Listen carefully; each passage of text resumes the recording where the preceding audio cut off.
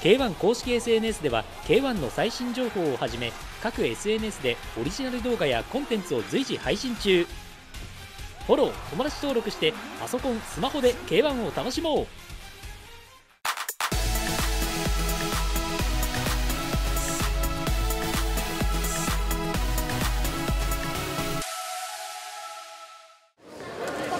第28試合 K1 甲子園2015アンダー55キロ C ブロック2回戦赤コーナー10番大阪府立枚方渚高校1年椿原達也君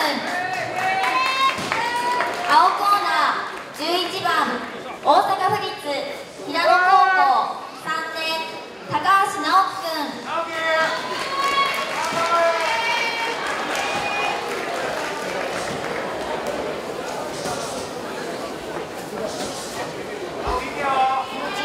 お互いはいねを。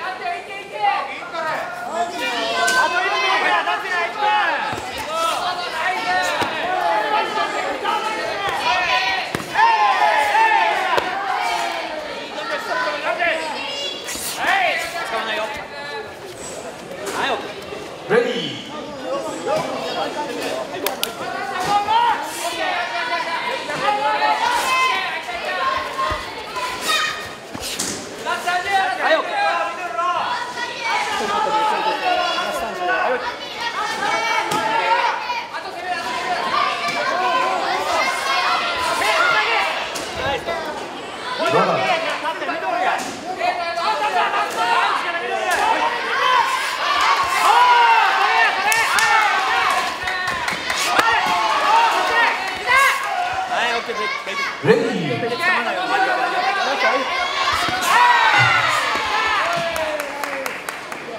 試合終了です。選手は中央へ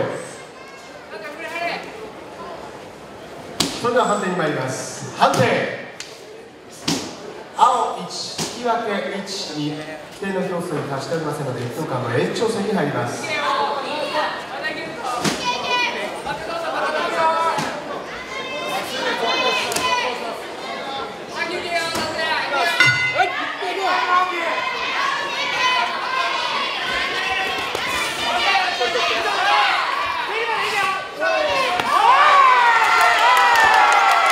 Welcome.